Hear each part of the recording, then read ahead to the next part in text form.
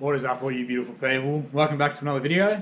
Um, in this video, we're not only getting primer, but paint as well on this. So if you haven't seen the prep video, make sure you go have a look at that. Um, other than that, yeah, sit down and enjoy it. Cheers. Okay, so I've just wiped down everything. Bins full of dirty rags with terps and we're going to start doing the primer. So it says a 1 to 4 ratio, so one part's hardener to four parts of the epoxy primer. And yeah, we'll give it a test. I'll, I'll adjust the uh, PSI on the compressor and then we'll go from there. We'll just blast it with them.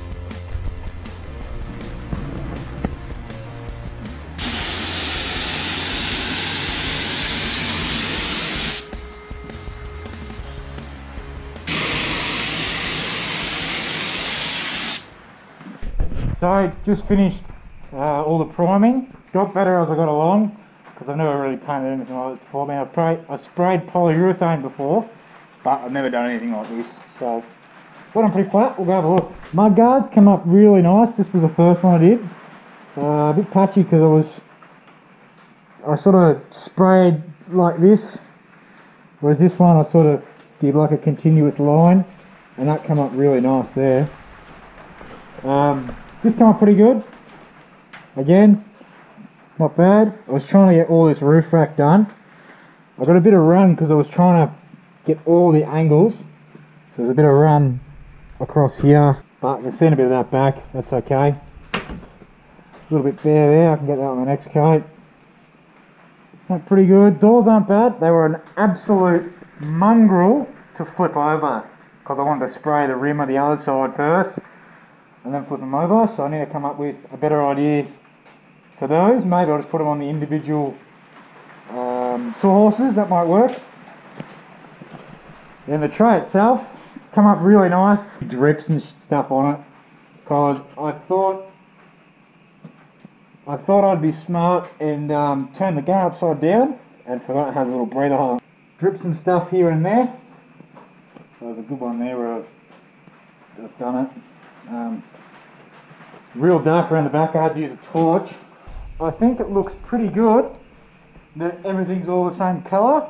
So I actually don't mind this grey. It actually looks really nice if I was to do, I don't know, another car in the future. Maybe I'd paint it this colour, but we'll, uh, I'll do another coat of primer tomorrow. Um, see how that comes up. Maybe I'll get two on tomorrow, do one in the morning, one in the arvo. We'll see. But yeah, I am going to say it's a success. I do think that uh, Raptor epoxy primer is a must for anything. especially aluminium. My mate did his with um, only adhesion promoter. Stuck really well, but not as well as it could have. I'm hoping the primer does a better job um, helping it stick, and I've sanded everything. If you're going to do this yourself, I've tried to give myself enough room, but I'm still finding I'm tripping over stuff. So if you can have an even bigger space, um, it would have been nice if these weren't here. And I've on, you know, that and that, brought these in a little bit more. But yeah, I'm very happy with this.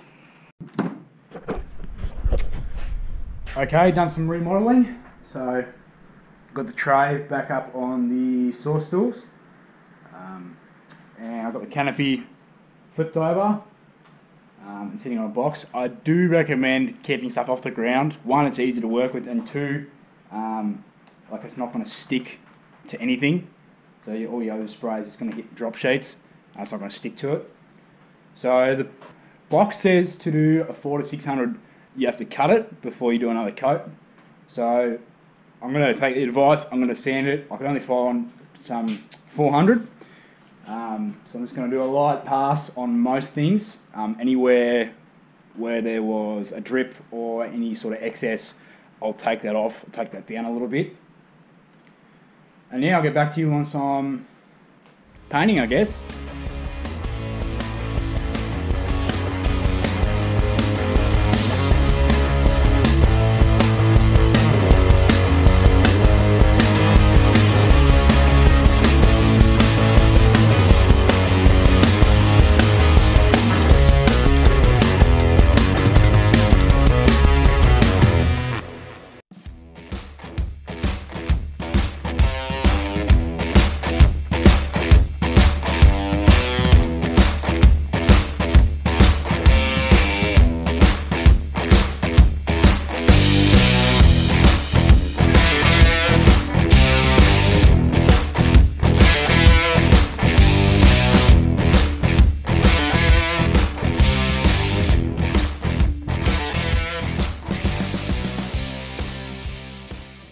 Okie dokie. So, clean up.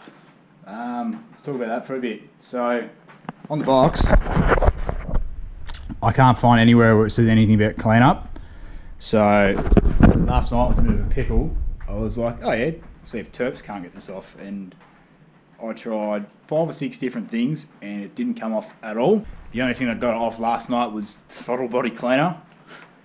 Uh, so I did a bit of research and you get paint thinner. So I went down to my local hardware store, picked up some of this stuff, and it's coming off really nicely with that. So if you're going to use this epoxy primer, make sure you grab some of that to clean up because this stuff is just like it's like gaffer tape. It just sticks to everything.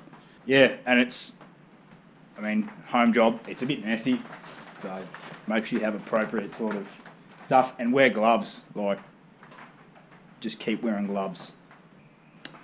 Okay, so it's a few days later. Everything's got at least two to three coats of primer on it. Um, and I did it this morning on a couple spots like the bottom of the canopy and the bottom of the tray. Um, it's been crap weather for painting, so I am pretty keen to get a bit of actual Raptor on it. So we're just going to do the roof of the canopy and the top of the tray, along with a bit of the headboard and the doors and the mud guards. So, gonna mix this stuff up now. It's pretty simple. It's pretty straightforward. It says it on each uh, bottle. So it says fill it, shake it, shoot it. So it comes with a little measuring cup, and it says 237 mil of hardener to each bottle. I think it says fill up to a line or something. Um, I want this a little bit thin, so if it's not how I want it, I will add a little bit of thinness to it and try it. Um, but I'm hoping enough PSI behind it will sort of thin it out a little bit. Uh, other than that, we'll give it a shot and see how it goes. Rightio, so sorry about the change of the camera. My GoPro has, for some reason, decided to stop working, and it was dead the last time I tried recording. So, uh, I have painted 90 or 80% of everything in Raptor. So last little bit, I'm hopefully going to get a bit of footage for you guys to show you how easy this stuff is. Um, and a couple little tricks I picked up when using this stuff and getting absolutely as much as you can out of a bottle because I have ran out of the four litre pack. I had to run to my mate's place and get the extra bottle that he had laying around, and I doubt I'm going to have enough. I might just. I've still got to paint this side of the canopy, the other side, the tail lights, and then the other side of the headboard, and I sh- and that's it. So hopefully I can get everything out of this one bottle. We'll see.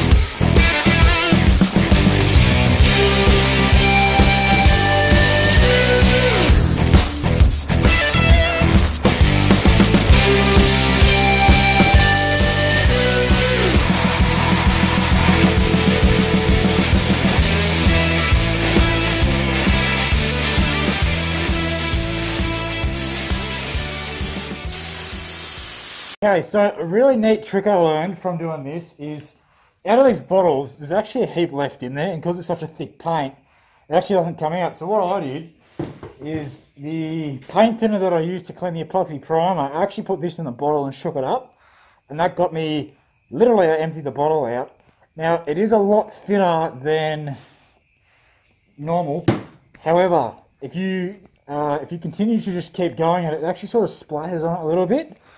Uh, I've got a good example of the mud guards. I ran out and I did one of the one of the mud guards like this. So this is this is the one where I put the uh, thinned out rough it, and it's not too different.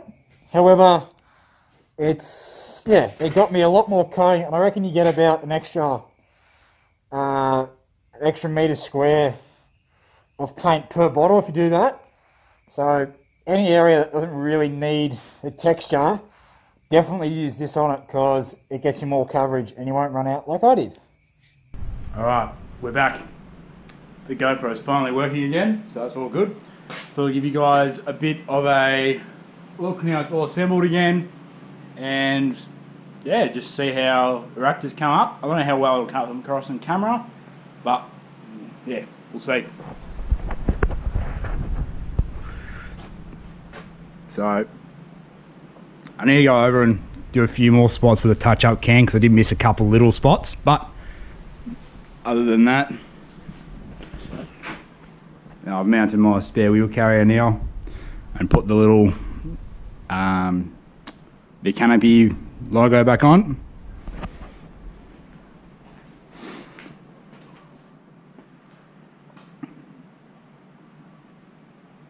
But really happy with it.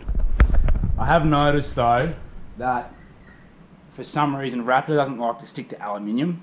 Um, so as I've probably said already, uh, my mate painted his setup with Raptor and he just used the adhesion promoter um, and it didn't stick awfully well. It stick like pretty good, but it flakes off a bit.